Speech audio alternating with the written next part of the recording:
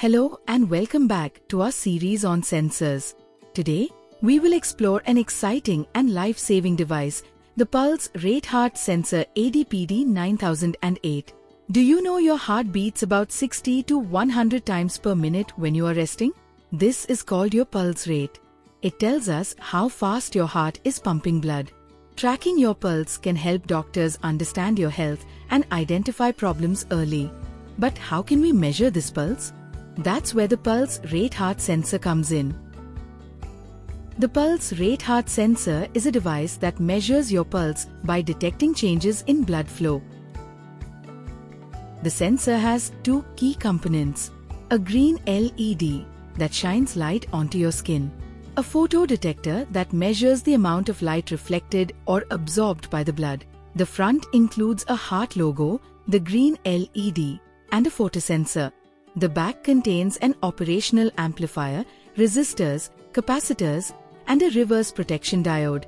Additionally, jumper wires, a power source, and an I2C OLED display are required for setup. The pulse rate sensor works on photoplethysmography, referred to as PPG, to measure blood volume changes under the skin. A green LED of wavelength 565 nanometers shines light into the skin. Blood reflects some light back, which is detected by a photodetector. Variations in reflected light correspond to heartbeats, creating a waveform. A low-pass filter removes noise and an operational amplifier boosts the signal. The Arduino reads the processed signal, calculates heart rate, and displays it in beats per minute BPM. The pulse rate heart sensor offers features like high sensitivity, low power consumption, multi-wavelength support, and compact design. Let's see how it works.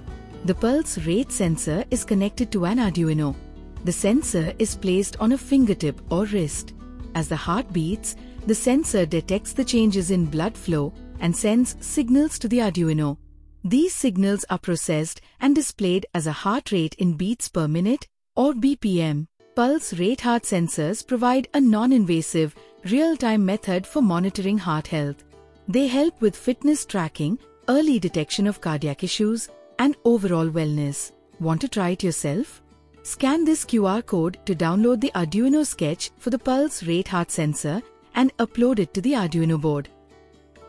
Connect the pulse sensor's red wire to the Arduino's 5 volts pin, the black wire to GND, and the purple wire to analog pin. To display the heart rate readings, connect the OLED display's SDA pin to a 4 and SCL pin to a 5 on the Arduino, ensuring proper communication between the components. To get correct readings, we need to take the precautions like placing the finger on the pulse sensor and keeping the finger steady, as readings may take time to stabilize. Pulse rate sensors are widely used in fitness bands and smartwatches and to track your heart rate during exercise. They are used in medical devices to monitor patients' health. Pulse rate heart sensors are used in emergency kits for quick pulse checks during first aid. They're also being used in innovative projects like health monitoring robots and remote health tracking systems. Thank you for watching. Share your thoughts and ideas in the comments section.